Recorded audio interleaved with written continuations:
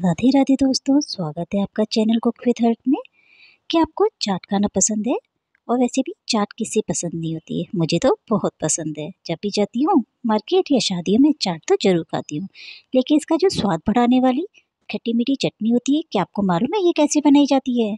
इसी की रेसिपी आज मैं आपके साथ में शेयर कर रही हूँ।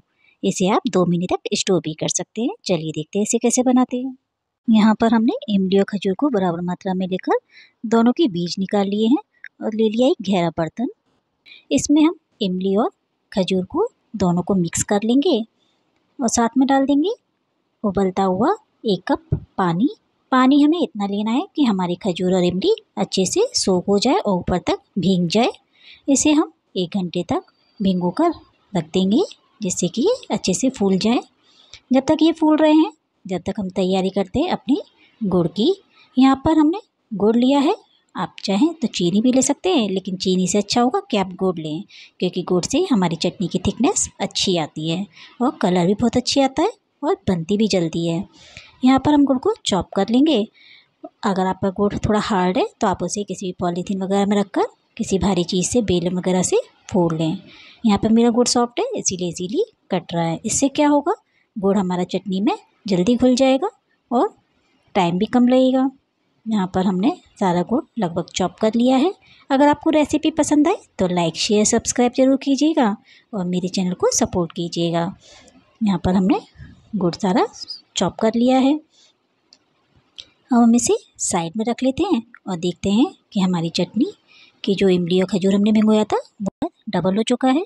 अब हम इसे ग्राइंडर में डाल लेंगे, क्योंकि हमें इसे पीसना है। अगर आप चाहें तो पानी बाद में भी डाल सकते हैं। ऐसे ही पीस जाता है तो ऐसे ही पीस लें।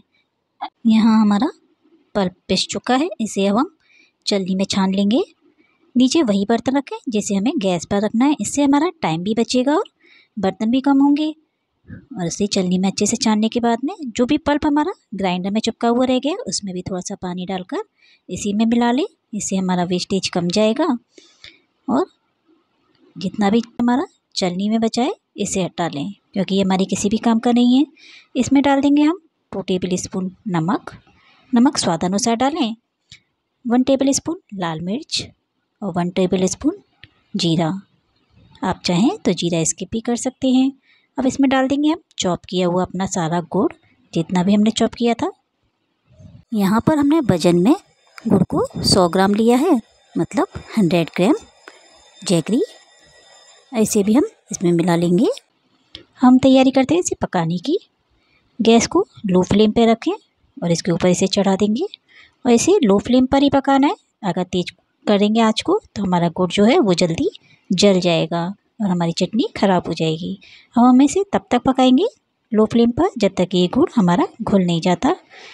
हमें इसे रेगुलर चलाते हुए जाना है, नहीं तो गुड़ हमारा नीचे लग जाएगा। धीरे धीरे आप देखेंगे, जैसे जैसे गुड़ पिघलेगा, इसमें थोड़े से झाग भी बनने लग जाएँगे और इसका कलर भी चेंज हो जाएगा। यहाँ पर हम रेगुलर चलाते जा रहे हैं।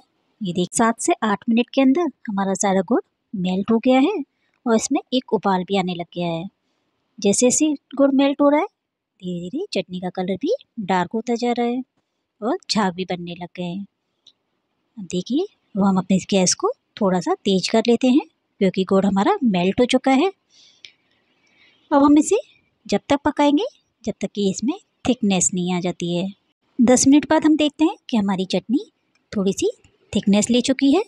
अब हम इसे ज़्यादा नहीं पकाएँगे क्योंकि ये ठंडी होने के बाद में और ज़्यादा गाढ़ी हो जाएगी। हम अपनी गैस की फ्लेम को बंद कर देंगे। अब इसमें डाल देंगे थोड़ी सी किशमिश और खजूर के बीज, मस्क मेलन सीड्स। इससे थोड़ा रॉयल लुक आता है हमारी चटनी में। और जब ये ठंडी हो जाएगी तो ये और अच्छी लगेगी देखने में। अब इसे ठंडा होने के लिए रख देते हैं। जैसे ही ठंडी हो जाएगी, इसे किसी भी कांच के जार में भरें और दो महीने तक फ्रिज में स्टोव करके रखें।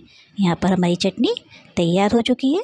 देखिए, इसकी थिकनेस आपको कैसी लग रही है। दोस्तों, ये खाने में स्वादिष्ट तो है ही, लेकिन ये हेल्दी भी है, क्योंकि इसे हमने खजूर से बनाया है। और खजूर के बेनिफिट्स तो आपको सबको पता ही होगा। कितना फ़ायदेमंद होता है। और इसे हम स्टोर भी करके रख सकते हैं और किसी भी चार्ट के ऊपर डालें और एंजॉय करें। अगर आपको रेसिपी पसंद आई हो तो लाइक शेयर सब्सक्राइब करना ना भूलें और अपना सपोर्ट बनाए रखें। और आगे की रेसिपी के लिए सब्सक्राइब करें। देखते रहें कुक विथ हर्ट बाय